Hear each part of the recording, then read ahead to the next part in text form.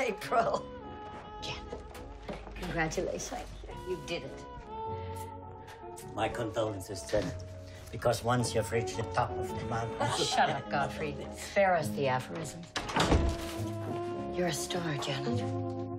I'm proud of you, even though I think democracy is finished. Oh, thank you, April. Yes, You're consistent. Actually, I'm not drinking alcohol at the moment.